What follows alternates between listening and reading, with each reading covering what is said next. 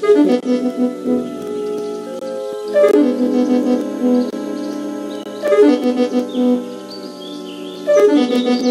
you.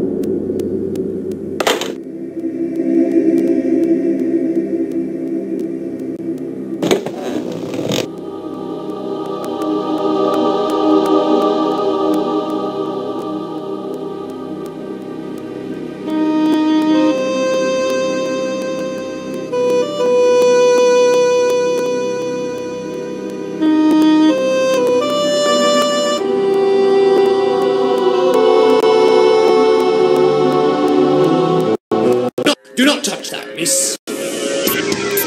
Who are you? You frightened me. I didn't hear you come in. And you, what are you doing there? You are too curious. But this is my home. I inherited this manor. How did you get in? My name is Jarlath. To be brief, I built this heights, and all that is here belongs to me. Inherited, you say? You inherited it from me, then? Strange. Your face reminds me of someone I once knew in the past. Oh, yes, I remember who you are. It's not important. This house was built in 1840. But I am sure I have never met you before. Don't care if you understand or not. Your intrusion disturbs me. If I let you go, you can disrupt my plans. You aren't going to kill me, are you? Oh, no, no. But I have a better idea. And you can't do anything about it. Goodbye, miss. As I ran after him, I was captured by a strange whirlwind that left me unconscious.